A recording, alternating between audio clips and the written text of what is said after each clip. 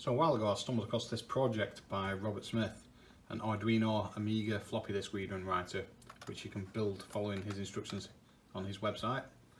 And what this allows you to do is read and write Amiga ADF files back to real floppy disk, which you can then use on your Amiga. So this is my attempt, currently on a breadboard, just while I test it before moving it onto a PCB. So what I'm just going to do is have a go at writing an ADF back to floppy disk and then what I'm going to do is use the Amiga to read the floppy back to an ADF and then send it back to the PC and do a file comparison and they should be identical. So I'm just going to go ahead and do that now.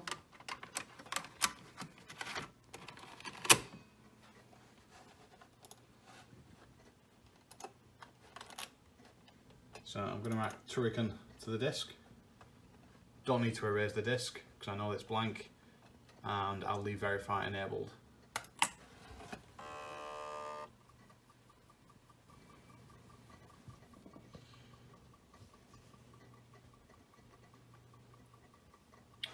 Okay, it doesn't seem to like that. Let's try again with erase enabled. Strange. I know it's a blank disk as well because I formatted it using Xcopy.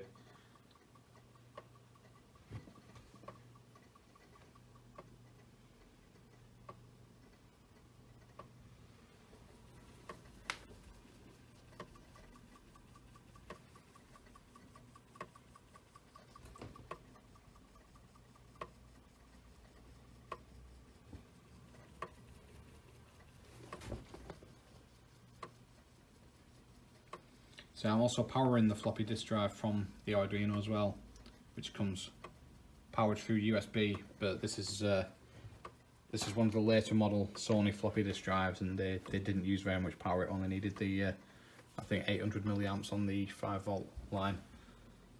If you do have trouble doing that then you'd probably need to power it directly from, from a power supply.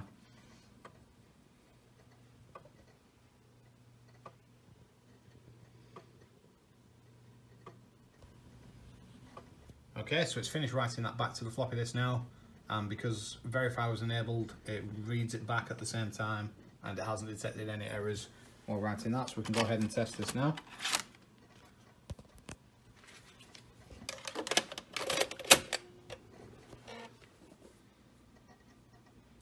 Not non-DOS disk, that's correct.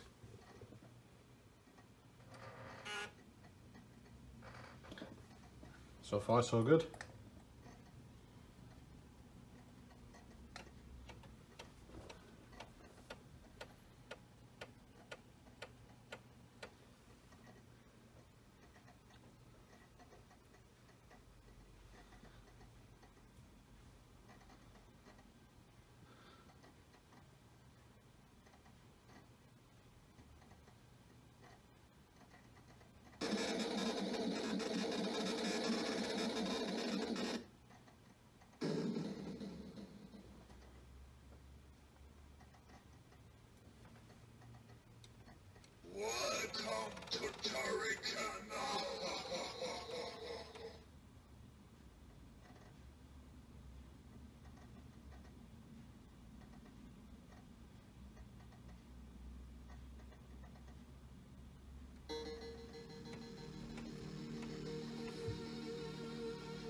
Okay, looks like that's worked great.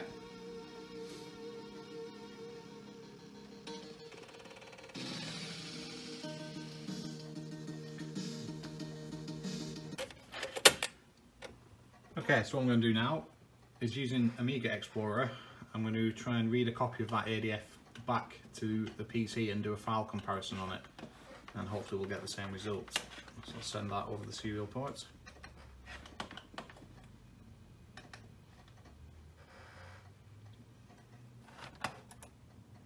So here, let's open up Amiga Explorer.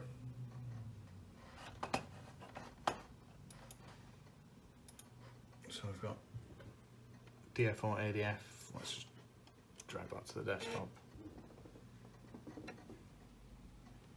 Okay, so this will take a couple of minutes.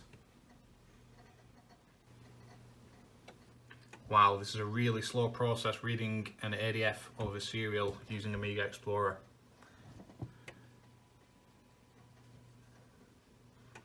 Baud rate of 38400. Kind of forget how slow it was. We really are spoiled these days. Okay, so that finally finished. That took about seven or eight minutes, a lot longer than, uh, than I thought. So what I'm going to do now is drag this into a file comparison. And to that I just use the uh, HXD hex editor. So find the original file and the copied readback file. So I've got both those loaded now and if we go to file compare see what happens. Files are identical. So that's excellent. It's written it to the floppy disk and the Amiga has re read the disk back and both copies are exactly the same. So the next test is to write an ADF to floppy disk over the serial port to the Amiga and then try and read it back. But I expect that the result will be the same. But let's give it a go anyway. Okay, so we're just coming to the end of this now. We're writing the New Zealand story ADF to floppy disk using Amiga Explorer. So in a few seconds that should have finished. And then we'll read it back using the Arduino ADF reader.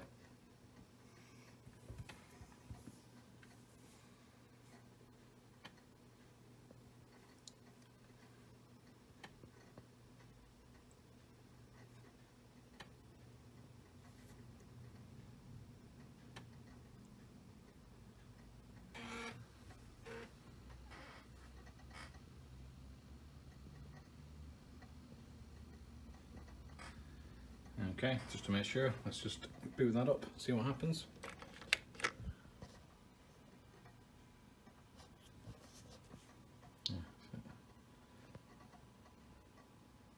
My accelerator card gives me uh, gurus every now and again, still need to fix that.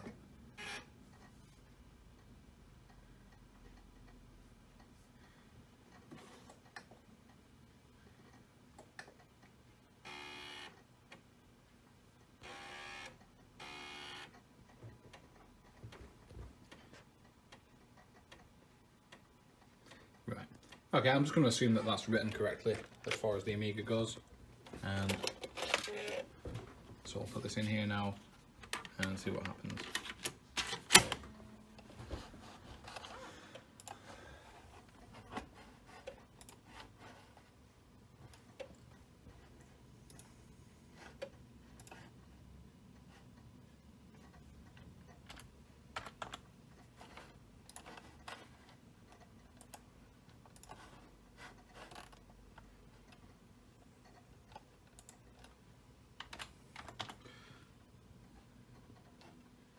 ZS. There we go.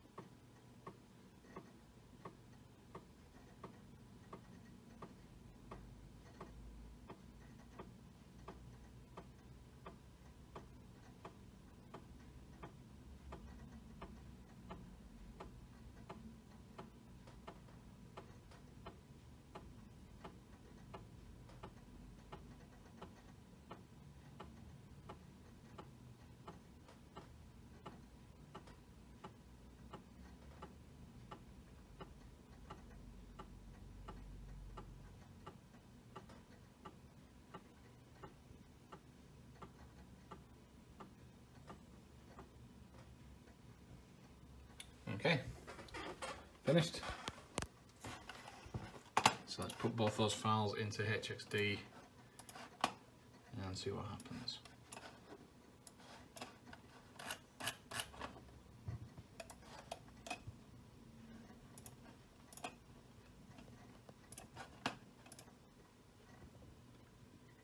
Excellent, chosen files are identical.